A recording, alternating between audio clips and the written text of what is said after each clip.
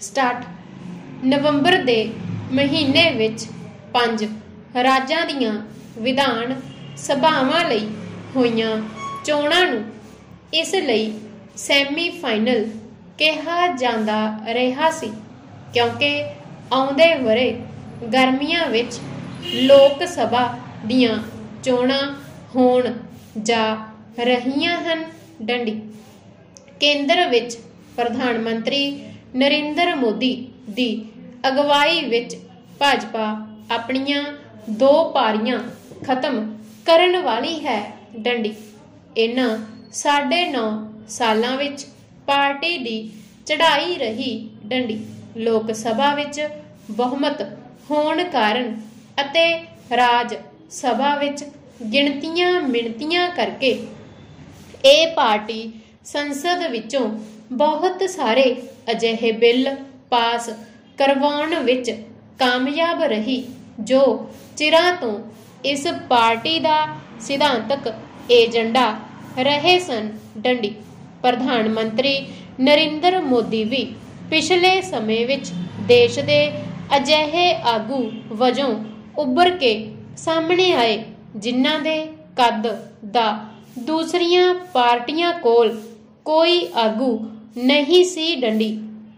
ਪ੍ਰਧਾਨ ਮੰਤਰੀ ਵੱਲੋਂ ਸਮੇਂ-ਸਮੇਂ ਐਲਾਨੀਆਂ ਅਤੇ ਲਾਗੂ ਕੀਤੀਆਂ ਬਹੁਤ ਸਾਰੀਆਂ ਯੋਜਨਾਵਾਂ ਦੀ ਵੱਡੇ ਪੱਧਰ ਉੱਤੇ ਪ੍ਰਸ਼ੰਸਾ ਵੀ ਹੋਈ ਅਤੇ ਕੁਝ ਕੁ ਦੀ ਵਿਰੋਧੀ ਦਲਾਂ ਵੱਲੋਂ ਸਖਤ ਆਲੋਚਨਾ ਵੀ ਕੀਤੀ ਜਾਂਦੀ ਰਹੀ ਡੰਡੀ।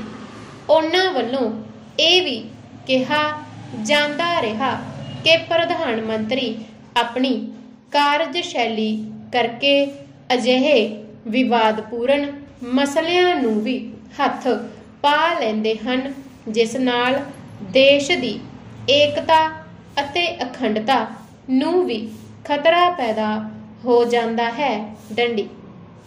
ਇਸੇ ਹੀ ਤਰ੍ਹਾਂ ਮੋਦੀ ਦੀ ਕਾਰਜਸ਼ੈਲੀ ਨੇ ਸਮੇਂ-ਸਮੇਂ ਅਨੇਕਾਂ ਹੀ ਵਿਵਾਦਾਂ ਨੂੰ ਵੀ ਜਨਮ ਦਿੱਤਾ ਡੰਡੀ।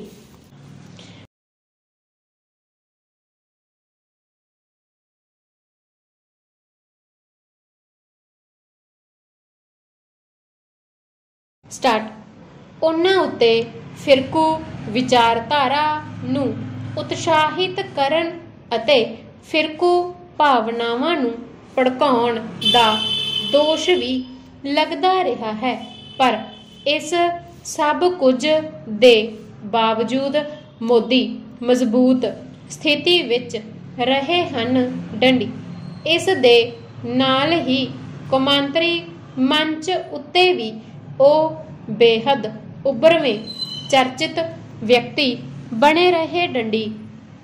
ਉਹਨਾਂ ਦੇ ਪ੍ਰਭਾਵ ਨੂੰ ਵੀ ਦੁਨੀਆ ਭਰ ਵਿੱਚ ਕਿਸੇ ਨਾ ਕਿਸੇ ਰੂਪ ਵਿੱਚ ਕਬੂਲਿਆ ਜਾਂਦਾ ਰਿਹਾ ਡੰਡੀ। ਭਾਰਤੀ ਜਨਤਾ ਪਾਰਟੀ ਵੀ ਰਾਸ਼ਟਰੀ ਸਵੈਮ ਸੇਵਕ ਸੰਘ ਤੋਂ ਥਾਪੜਾ ਲੈ ਕੇ ਮਜ਼ਬੂਤ ਹੁੰਦੀ ਗਈ ਡੰਡੀ।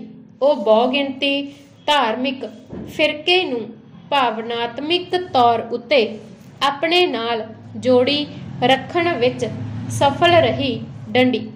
ਅਜਿਹੀ ਸਥਿਤੀ ਨੂੰ ਦੇਖਦਿਆਂ ਹੀ ਕਾਂਗਰਸ ਅਤੇ ਦੇਸ਼ ਦੀਆਂ ਹੋਰ ਵੱਡੀਆਂ ਛੋਟੀਆਂ 28 ਪਾਰਟੀਆਂ ਨੇ ਗੱਠਜੋੜ ਕਰਕੇ ਚੋਣਾਂ ਵਿੱਚ ਭਾਜਪਾ ਦਾ ਮੁਕਾਬਲਾ ਕਰਨ ਦੀ ਤਿਆਰੀ ਕਸ ਲਈ ਡੰਡੀ।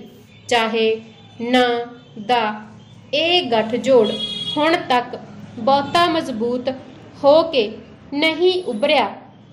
ਪਰ ਇਸ ਦੇ ਭਾਜਪਾ ਵਿਰੁੱਧ ਇਕੱਠੇ ਹੋ ਕੇ ਚੋਣਾਂ ਲੜਨ ਦੇ ਯਤਨ ਜਾਰੀ ਹਨ। ਡੰਡੀ ਆਉਂਦੀਆਂ 2024 ਦੀਆਂ ਲੋਕ ਸਭਾ ਚੋਣਾਂ ਤੱਕ ਇਹ ਗੱਠਜੋੜ ਕਿਸ ਕਦਰ ਆਪਣਾ ਪ੍ਰਭਾਵ ਕਾਇਮ ਕਰ ਸਕਦਾ ਹੈ?